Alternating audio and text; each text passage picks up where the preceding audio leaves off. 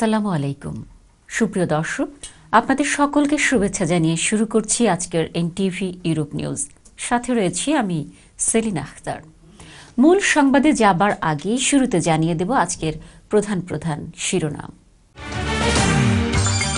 Brexit পরবর্তী বাণিজ্য চুক্তির বিষয়ে ইউকে এবং ইউর মধ্যে আলোচনা সমাপ্ত, জানিয়েছে টেন ডাউনিং স্ট্রিট। করোনায় গত চব্বিশ ঘন্টায় যুক্তরাজ্যে একশো ছত্রিশ জন প্রাণ হারিয়েছেন। আক্রান্ত পনেরো হাজার ছয়শো পঞ্চাশ জন। এবং ইউরোপে বাড়ছে করোনা সংক্রমণ, বাড়ছে মৃতের সংখ্যা। শুনছিলেন শিরোনাম, এবার বিস্তারিত। ব্রেক্সিট পরবর্তী বাণিজ্য চুক্তির বিষয়ে ইউকে এবং ইউর মধ্যে আলোচনা সমাপ্ত হয়েছে বলে জানিয়েছে ten Downing street Downing street বলছে, আগামী সপ্তাহে ইউ এর অংশীদারিত্বের লিগাল টেক্সট নিয়ে আলোচনায় অংশগ্রহণ না করলে এই আলোচনা চালিয়ে যাওয়ার কোনো অর্থ বহন করে না। এদিকে ইউ এর নেতারা বলছেন, তারা আলোচনা তীব্র করতে ইচ্ছুক। তবে সংস্থাটি যে কোনো মূল্যে যুক্তরাজ্যের সাথে একটি বাণিজ্য চুক্তি করবে না। ইউরোপীয় ইউনিয়নের প্রধান আলোচক মিশেল বার্নিয়ার আগামী সপ্তাহে আলোচনার জন্য লন্ডনে আসার কথা রয়েছে তবে ডাউনিং স্ট্রিট বলছে ইউ এর অবস্থান পরিবর্তন না করলে তার এই আলোচনায় অংশগ্রহণ অর্থহীন হবে And since we have only 10 weeks until the end of the transition period on January the 1st, I have to make a judgment about the likely outcome and to get us all ready. And given that they have refused to negotiate seriously for much of the last few months, and given that this summit appears explicitly to rule out a Canada style deal, I've concluded that we should get ready for January the 1st with arrangements that are more like Australia's, based on simple principles of global free trade. And we can do it because we always knew that there would be change on January the 1st, whatever type relationship we had. যুক্তরাজ্যে প্রতিদিনই ব্যাপক হারে বাড়ছে corona আক্রান্তের সংখ্যা। একই সাথে বাড়ছে হাসপাতালে ভর্তি এবং মৃত্যুর সংখ্যা। সংক্রমণ বৃদ্ধির প্রেক্ষিতে সরকার নিচ্ছে নানা ধরনের পদক্ষেপ। লন্ডন সহ দেশের বিভিন্ন অঞ্চলে আরোপ করা হচ্ছে, সরকার ঘোষিত বিভিন্ন স্তরের লকডাউন করোনার সর্বশেষ পরিস্থিতি জানাতে আজ ডাউনিং স্ট্রিটে আয়োজন করা হয় সংবাদ সম্মেলনের এতে প্রধানমন্ত্রী বরিস জনসন সাংবাদিকদের বিভিন্ন প্রশ্নের জবাব দেন দর্শক চলুন সংবাদ সম্মেলনের কিছু অংশ দেখে আসি. The job support scheme, combined with universal credit, means that those on low incomes who are affected by business closures will receive at least 80% of their wages. We're providing up to £465 million to help very high alert level areas to implement and enforce the restrictions, in addition to the £1 billion of extra funding for local authorities across the country. We will work with local authorities to allocate testing and introduce local contact tracing. Now, we have not yet reached an agreement with Greater Manchester. I completely understand the reluctance of the Mayor and his colleagues to take Manchester into the very high alert level. ইংল্যান্ডে জাতীয় পরিসংখ্যান office থেকে প্রাপ্ত গবেষণার তথ্য অনুসারে, অক্টোবরের গোড়ার দিকে প্রতিদিন গড়ে সাতাশ হাজার নয়শো জন করোনায় আক্রান্ত হয়েছেন করোনা পরীক্ষার উপর ভিত্তি করে দেখা গিয়েছে, প্রতি একশো ষাট জনের মধ্যে একজন করোনায় আক্রান্ত হয়েছে এই গবেষণার নেতৃত্ব দিচ্ছেন কিংস লন্ডন কলেজের জেনেটিক এপিডেমিওলজির অধ্যাপক টিম স্পেক্টর। এদিকে যুক্তরাজ্যে গত চব্বিশ ঘন্টায় নতুন করে আক্রান্ত হয়েছেন পনেরো হাজার ছয়শো পঞ্চাশ জন, যা গতকালের চেয়ে তিন হাজার তিনশো তিরিশ জন কম। গতকাল বৃহস্পতিবার ছিল আঠারো হাজার নয়শো আশি জন, বুধবার ছিল উনিশ হাজার সাতশো চব্বিশ জন এবং আজ সকাল নটা পর্যন্ত মোট আক্রান্তের সংখ্যা ছয় লাখ উননব্বই হাজার দুইশো বাহাত্তর জন। অন্যদিকে গত চব্বিশ ঘন্টায় মৃত্যু হয়েছে আরও একশো ছত্রিশ জনের। গতকাল বৃহস্পতিবার ছিল একশো সাঁত্রিশ জন, বুধবারও ছিল একশো সাঁত্রিশ জন, মঙ্গলবার ছিল একশো তেতাল্লিশ জন। মোট মৃতের সংখ্যা তেতাল্লিশ হাজার চারশো উনত্রিশ জন।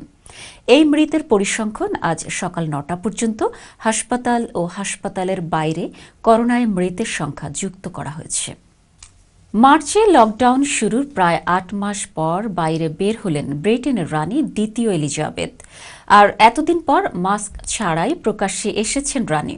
চুরানব্বই বছর বয়সে রাজ কর্মকর্তা তার নাতি প্রিন্স উইলিয়ামের সঙ্গে defence science and technology laboratory পরিদর্শনে যান। এ সময় তার মুখে মাস্ক ছিল না।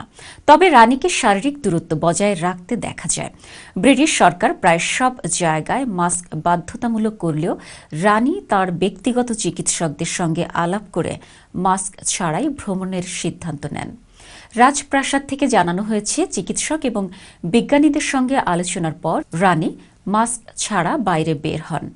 ব্রিটেনের রানী দ্বিতীয় এলিজাবেথের জন্মদিনে অনার অব ব্রিটিশ এম্পায়ার তথা ওবি খেতাবে ভূষিত হন ম্যানচেস্টার লংসাইটের বাসিন্দা, ম্যানচেস্টার সিটি কাউন্সিলের নির্বাচিত কাউন্সিলর লুৎফর রহমান। কাউন্সিলর নির্বাচিত হওয়ার পর থেকে তিনি কমিউনিটির উন্নয়নে বিভিন্ন সেক্টরে সফলতার সাথে কাজ করে আসছিলেন। বিশেষ করে যুব সমাজের উন্নয়ন, লাইব্রেরির উন্নতি সাধন, ক্রীড়া এবং বিনোদনে অসাধারণ ভূমিকা রাখায় তিনি এই সম্মানে ভূষিত হন। দর্শক, লুৎফর রহমান ও বীর সফলতা নিয়ে কথা বলছেন আমাদের ম্যানচেস্টার সহকর্মী Taibur Rahman Shyamal. Councillor Lutfur Rahman, Manchester city কাউন্সিলের কালচারাল অ্যান্ড লেজারের নির্বাহী সদস্য। দুই হাজার আট সালে লেবার পার্টি থেকে তিনি ম্যানচেস্টারের লংসাইড ওয়ার্ডে প্রথম কাউন্সিলর নির্বাচিত হন।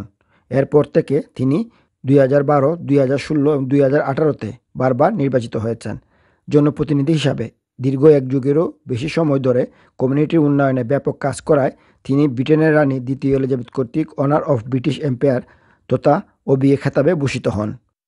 The first reaction was one of disbelief when I received the email notifying me that I've been uh, recommended to be honoured in the Queen's birthday list. I didn't believe it in the first instance, but of course, it's a hugely uh, humbling and honourable uh, occasion for me and my family. Lutfur Rahman উনিশশো আশি সালে তার পরিবারের সাথে বাংলাদেশ থেকে ম্যানচেস্টারে আসেন তৎকালীন সময়ে পড়াশোনার পাশাপাশি তিনি তার পিতার সাথে ক্যাটারিং ব্যবসায় জড়িয়ে পড়লেও তার ইচ্ছা ও মনোবল ছিল ব্রিটেনের মেইন স্ট্রিম রাজনীতির সাথে নিজেকে নিয়োজিত করে কমিউনিটির জন্য কাজ করা Growing up uh, in an area like Longside, seeing the lack of opportunities for my friends and my peers and the community that I live in was what drove me into politics, and that's one of the reasons that I decided that I needed to be on that decision making table, having a say and an input into the resources and investment that goes into our neighbours and communities and the opportunities. তিনি ব্রিটেনে বেড়ে ওঠা আমাদের নতুন প্রজন্মকে পড়াশোনা চাকুরি খেলাধুলায় অংশগ্রহণের পাশাপাশি ব্রিটেনের মেইন স্ট্রিম রাজনীতির সাথে জড়ানোর আহ্বান জানান Uh, my, my message to young people is that don't sit back and, and let policy uh, and strategy and services be developed without having an input and a say in what happens in your locality and what happens in your life. So it's important that you get involved in civic life. It's important that your voices are heard. In Manchester, we have the Manchester Youth Council, which is a forum that young people can get involved in. We also have the first ever youth cabinet in the city of Manchester that young people can participate in and be able to contribute and have their voices heard. So do, do not sit back and let things happen. Get involved. Lutfur রহমানের পিতা সুরাবুর রহমান তিনিও ম্যানচেস্টারের অত্যন্ত সুপরিচিত ব্যক্তিত্ব Manchester Shahjalal মসজিদের সাবেক chairman greater Manchester Awami লীগের সভাপতি ছেলের এমন সাফল্যে তিনিও আনন্দিত ও গর্বিত আজকে আমার আহ, ছেলের যে অবি খেতাব পেয়েছে আমরা সবাই আনন্দিত শুধু আমরা না, সারা দেশবাসী আনন্দিত। আরও যদি আজকে তার মা বেঁচে থাকতেন, কয়েক মাস আগে তার মা ইন্তেকাল করেছেন, যদি বেঁচে বেঁচে থাকতেন তাহলে আমরা আরও বেশি করে আনন্দ করতাম। তো আমার ছেলের এই সাফল্যের পিছনে যারা কাজ করেছে, আমি সবার প্রতি কৃতজ্ঞ এবং আমি সবার কাছে অনুরোধ রাখব, সবাই দোয়া করবেন আমার ছেলের জন্য। ভবিষ্যতের জন্য আরও সে উন্নতি করতে পারে। লুৎফুর রহমানের সাফল্য শুধু তার নিজের বা তার পরিবারের সাফল্য নয় এ সাফল্য সমগ্র দেশবাসীর। ম্যানচেস্টার থেকে তৈবুর রহমান শ্যামল এনটিভি নিউজ। জার্মানিতে করোনা সংক্রমণের হার ব্যাপকভাবে বৃদ্ধি পেয়েছে। করোনা মহামারীর শুরু থেকে এখন পর্যন্ত দেশটিতে সবচেয়ে বেশি সংখ্যক মানুষ আক্রান্ত হয়েছেন গত বৃহস্পতিবার। নতুন করে সংক্রমণ বৃদ্ধি পাওয়ায় উদ্বেগ আর উৎকণ্ঠা বাড়ছে সকল মহলে। বিস্তারিত আমাদের জার্মানি প্রতিনিধি হাবিবুল্লাহ আল বাহারের প্রতিবেদনে। জার্মানিতে এপ্রিল মাসের পর থেকে করোনা ভাইরাস সংক্রমণ অনেকটা নিয়ন্ত্রণের মধ্যে থাকলেও সম্প্রতি আবার তা ব্যাপক হারে বৃদ্ধি পেয়েছে। পনেরো অক্টোবর বৃহস্পতিবার জার্মানিতে সাত হাজার তিনশত চৌত্রিশ জন মানুষ করোনা আক্রান্ত হয়েছেন, যা এখন পর্যন্ত দেশটিতে সর্বোচ্চ দৈনিক আক্রান্তের রেকর্ড।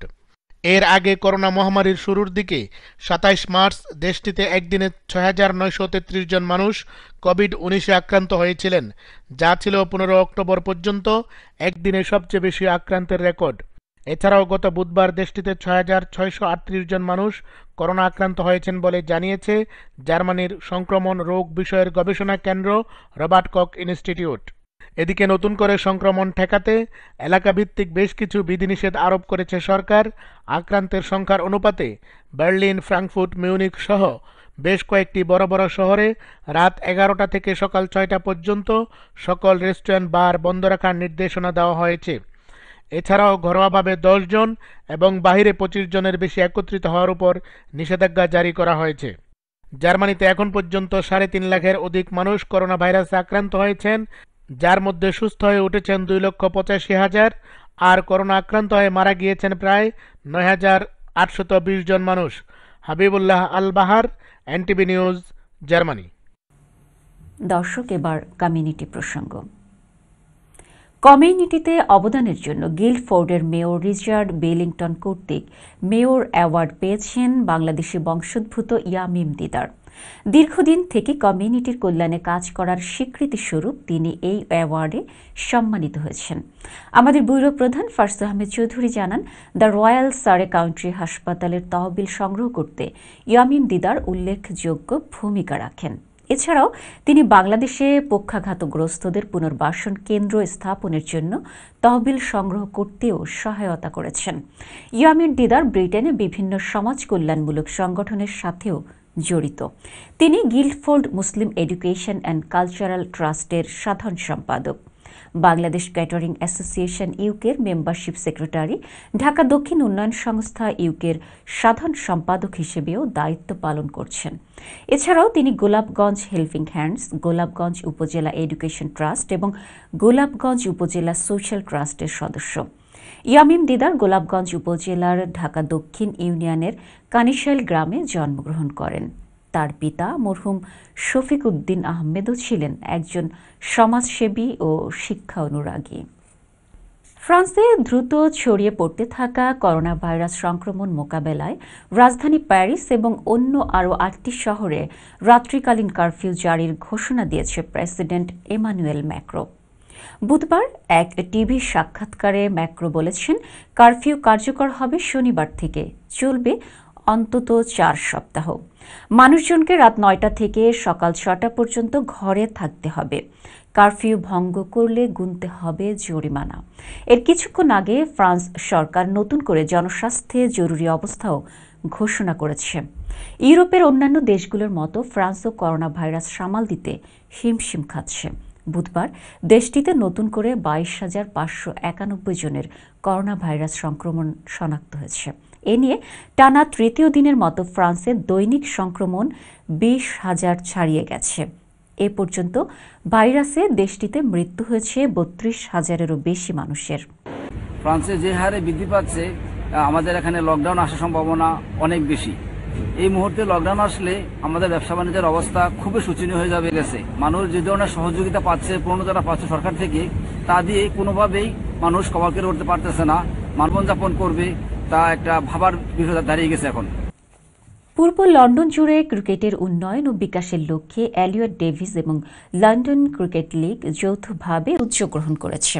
গত বুধবার যৌথ উদ্যোগের চুক্তি স্বাক্ষর করেন এলিয়ট ডেভিস লীগের প্রতিষ্ঠাতা chairman Selim Yasin. London cricket লিগের প্রতিষ্ঠাতা নাহিদ নেওয়াজ রানা এবং ইস্ট লন্ডন প্রিমিয়ার ক্রিকেট লিগের কোষাধ্যক্ষ Salman Ahmed. Traditional non traditional cricket খেলার উন্নয়ন ঘটাতে তারা যৌথভাবে কাজ করবেন বলে জানান। তারা মনে করেন অ্যাডাল্ট চিলড্রেন ও ওমেন ক্রিকেটের সুযোগগুলো উন্নত করতে কমিউনিটির বিভিন্ন সংগঠকদের সাথে এক হয়ে কাজ করার এখনই সঠিক সময়। এই যৌথ উদ্যোগকে পূর্ণ সমর্থন জানিয়েছে Essex cricket in the community ক্লাবগুলোর পক্ষ থেকে জানান তিরিশ হাজার পাউন্ডের প্রাইজ ফান্ড যা ক্লাবে বয়স ভিত্তিক খেলোয়াড় অফিসিয়াল এবং ক্রিকেট ফ্যাসিলিটি উন্নয়নে ব্যয় করা হবে বলে জানান উদ্যোক্তারা ক্রিকেট উন্নয়নে অবদান রাখতে উদ্যোক্তাদের পক্ষ থেকে সকল ক্রিকেট টিমকে একসাথে যুক্ত করার আহ্বান জানানো হয় Hi, this is Nahid Nozrana, co-founder and secretary London Cricket League. Elliot Davis and London Cricket League agreed a new partnership to grow cricket in East London. And um, we are very ex- excited and uh, happy uh, for this partnership with uh, most established league, Elliot Davis, and a huge potential East London Premier Cricket League. দর্শক একটি শোক সংবাদ NTV পরিবারের সদস্য এনটিভির Italy প্রতিনিধি আফজাল হোসেন রোমানের শ্রদ্ধেয়া মাতা আফরোজা বেগম শান্তি আজ শুক্রবার সকাল নটায় গাজীপুরে ইন্তেকাল করেছেন ইন্না নিল্লাহে ওয়া ইন্না ইলাহি রাজিউন। বেশ কিছুদিন যাবৎ তিনি অসুস্থ ছিলেন। আফজাল হোসেন রোমান মরহুমার একমাত্র সন্তান। তার মৃত্যুতে ইতালি প্রবাসী বাংলাদেশিদের বিভিন্ন সংগঠন গভীর শোক প্রকাশ করেছে। সেই সাথে শোক সন্তপ্ত পরিবারের প্রতি জানিয়েছেন গভীর সমবেদনা। এনটিভি ইউরোপের সম্মানিত সিইও সাবরিনা হুসাইন ও এনটিভি পরিবার তার মৃত্যুতে গভীর শোক ও সমবেদনা জানিয়েছেন। বাদ আসর নারায়ণপুর সরকার বাড়ি জামে মসজিদ প্রাঙ্গণে জানাজার নামাজ শেষে তাকে পারিবারিক কবরস্থানে দাফন করা হয়েছে। ইতালির রোম ও অন্যান্য শহরে বিভিন্ন মসজিদে আজ বাদ জুমা, মরহুমার রুহের মাগফেরাত কামনা করে বিশেষ দোয়া করা হয়েছে। আগামী সোমবার বাদ জোহর বাংলাদেশে এবং বাদ মাগরিব ইতালিস্থ টিএমসি মসজিদে মরহুমা রুহের মাগফিরাত কামনা করে বিশেষ দোয়া মাহফিলের আয়োজন করা হবে। এবার জানিয়ে দেব সিলেট ব্যুরো অফিস থেকে পাঠানো তথ্য ছবি নিয়ে সংবাদ প্রতিদিনের সিলেট। হবিগঞ্জের নবীগঞ্জ উপজেলার তিন নম্বর ইনাদগঞ্জ ইউনিয়নের বিশিষ্ট সমাজসেবক যুক্তরাজ্য প্রবাসী শাহ আমিনুল ইসলাম নজরুলের পক্ষ থেকে অসহায়, দরিদ্র ও দিনমজুর পরিবারের মানুষের মাঝে খাদ্য সামগ্রী বিতরণ করা হয়েছে। নবীগঞ্জ থেকে আমাদের সহকর্মী মহিবুর রহমান চৌধুরী তসনু জানান, শুক্রবার সকালে তিন নম্বর ইনাতগঞ্জ ইউনিয়নের নিজ আগনা গ্রামের মৃত শাহ আব্দুল হক মাস্টারের পুত্র নজরুল ইসলামের বাড়িতে তার নাতি শাহ মোহাম্মদ সাইফুল ইসলামের সহযোগিতায় এলাকার দরিদ্র, অসহায়, দিনমজুর পরিবারের মাঝে চাল, ময়দা, পেঁয়াজ, তেল, সাবান সহ বিভিন্ন খাদ্য সামগ্রী উপহার স্বরূপ বিতরণ করা হয়। এ সময় প্রধান অতিথি হিসেবে উপস্থিত ছিলেন হবিগঞ্জ এক আসনের সংসদ সদস্য গাজী মোহাম্মদ শাহনেয়াজ মিলাদ। উপস্থিত ছিলেন দুই নম্বর পূর্ব বড় ভাকুর ইউপি আওয়ামী লীগের সভাপতি আক্তার হোসেন সুবা। ইনাদগঞ্জ ইউনিয়ন আওয়ামী লীগের সাধারণ সম্পাদক মুজিবুর রহমান, কাজীগঞ্জ বাজার ব্যবসায়ী সমিতির সভাপতি আনোয়ার হোসেন, সাবেক সভাপতি আবদাল মিয়া, উপজেলা যুবলীগের যুগ্ম আহ্বায়ক ও গীতিকার মাক্কু আহমেদ চৌধুরী, ইনাদগঞ্জ ইউনিয়ন যুবলীগের সভাপতি আশাহিদ আলী আশা সহ আরও অনেকেই। অনেক কষ্ট করে বিদেশ থেকে এসছেন লন্ডন। উনি ফিল করেছেন মানুষের জন্য। পয়লই আমার প্রবাসী ভাইদের সালাম জানাই, সালাম নিবা। আর এই ক্লান্তি লগ্নে আমাদের বাংলাদেশে যারা চিহ্নিত গরিব, অসহায় মানুষ আছে, তাদের সাহায্য সহায়তার লাগি আপনারা আগাইয়া আসুন, এইটাই আপনাদের কাছে আমার আবেদন। জগন্নাথপুর উপজেলার পাটলি ইউনিয়ন পরিষদের সম্ভাব্য চেয়ারম্যান প্রার্থী, আওয়ামী লীগ মনোনয়ন প্রত্যাশী, সাবেক ছাত্রলীগ নেতা, যুক্তরাজ্য আওয়ামী লীগ, ম্যানচেস্টার সিটি শাখার যুগ্ম সাধারণ সম্পাদক শাহ মোহাম্মদ আব্দুল কাহার রাসেল গ্রামীণ অবকাঠামোর টেকসই উন্নয়ন সহ পাটলি ইউনিয়নকে একটি মডেল ইউনিয়নে রূপান্তরকরণের প্রত্যয়ে গ্রাম ও হাট বাজারে নির্বাচনী গণসংযোগের পাশাপাশি অবিরাম প্রচার প্রচারণা চালিয়ে যাচ্ছেন। সুনামগঞ্জের জগন্নাথপুর থেকে আমাদের সহকর্মী মোহাম্মদ আব্দুল হাই জানান, আগামী ইউনিয়ন পরিষদ নির্বাচনকে সামনে রেখে পাটলি ইউনিয়ন পরিষদের সম্ভাব্য চেয়ারম্যান প্রার্থী জগন্নাথপুর উপজেলার পাটলি ইউনিয়নের পাটলি পীরবাড়ি গ্রামের বাসিন্দা ইউনিয়ন পরিষদের সাবেক ভারপ্রাপ্ত চেয়ারম্যান শাহ আব্দুর রকিবের জ্যেষ্ঠ পুত্র জগন্নাথপুর সরকারি কলেজ ছাত্রলীগের সাবেক সাধারণ সম্পাদক, যুক্তরাজ্যের ম্যানচেস্টার সিটি আওয়ামী লীগের যুগ্ম সাধারণ সম্পাদক শাহ মোহাম্মদ আব্দুল কাহার রাসেল, ইউনিয়নের প্রতিটি গ্রাম ও হাট বাজারে উৎসব মুখর পরিবেশে প্রচার প্রচারণা চালিয়ে যাচ্ছেন। গতকাল বৃহস্পতিবার দিনব্যাপী ইউনিয়নের এরালিয়া বাজার, লাউতলা, লোহারগাঁও, নতুন বাজার, রসুলগঞ্জ বাজার ও পাটলি ইউনিয়ন অফিস মার্কেট সহ বিভিন্ন এলাকায় মোটরসাইকেল শোভাযাত্রার পাশাপাশি গণসংযোগ ও প্রচারপত্র বিলি করছেন সম্ভাব্য চেয়ারম্যান প্রার্থী শাহ মোহাম্মদ আব্দুল কাহার রাসেল।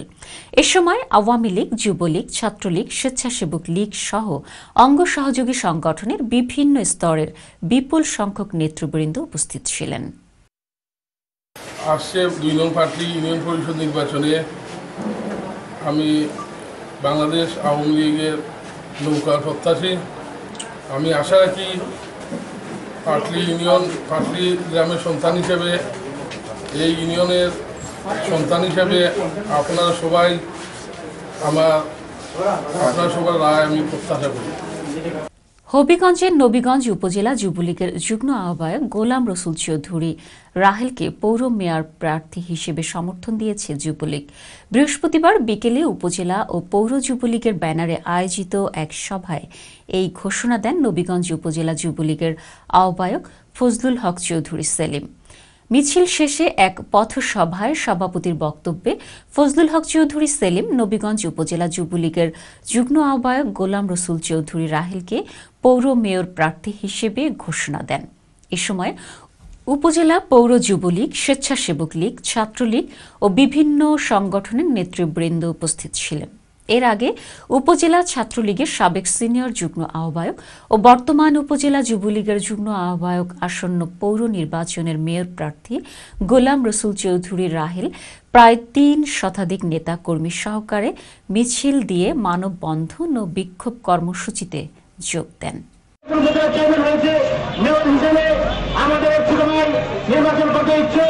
দর্শক সংবাদ শেষ করব। তবে তার আগে আরও একবার জানিয়ে দিচ্ছি আজকের প্রধান প্রধান শিরোনাম। ব্রেক্সিট পরবর্তী বাণিজ্য চুক্তির বিষয়ে ইউকে এবং ইউর মধ্যে আলোচনা সমাপ্ত, জানিয়েছে টেন ডাউনিং স্ট্রিট। করোনায় গত চব্বিশ ঘন্টায় যুক্তরাজ্যে একশো ছত্রিশ জন প্রাণ হারিয়েছেন, আক্রান্ত পনেরো হাজার ছয়শো পঞ্চাশ জন। এবং ইউরোপে বাড়ছে করোনা সংক্রমণ, বাড়ছে মৃতের সংখ্যা।